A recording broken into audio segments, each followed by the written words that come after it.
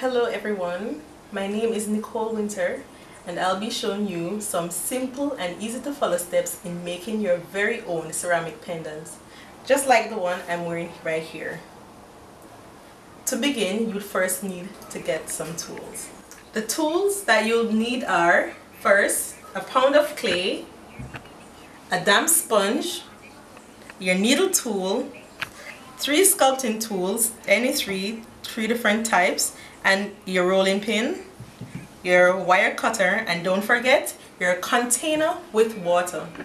You also need to have a safety overall apron protection so that you don't get your clothes messy and stuff. So gather all your tools and we will begin in a minute. Now that we have gathered all our tools and material, we are ready to begin.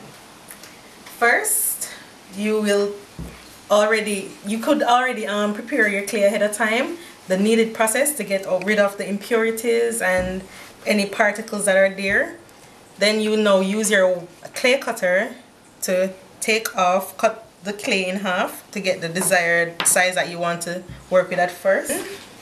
You will then use your rolling pin to get um, an equal consistency in terms of the thickness that you want your pendant to be. So now we use, you could use um, any cookie cutter will do.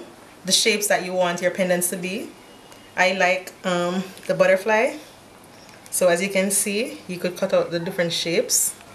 Or you could use your needle tool and create any style or pattern after you, you finish cleaning up the pieces and and making the hole for the pendant it is now ready to to put to dry. And then after the drying process you could apply your glazes um, or your color here I'll be showing you how uh, to apply. These are some that I've already pre.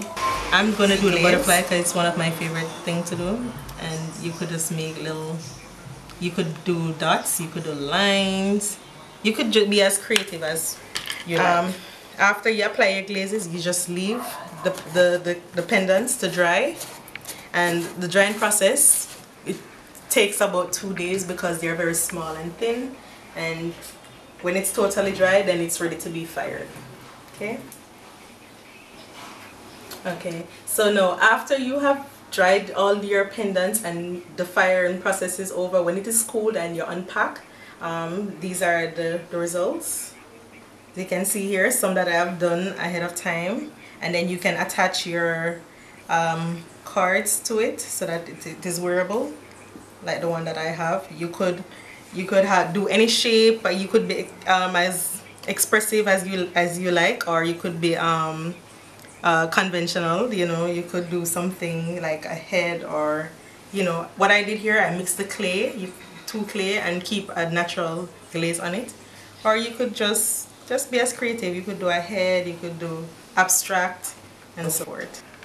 Well that is it for this segment. I hope you enjoyed it. Thank you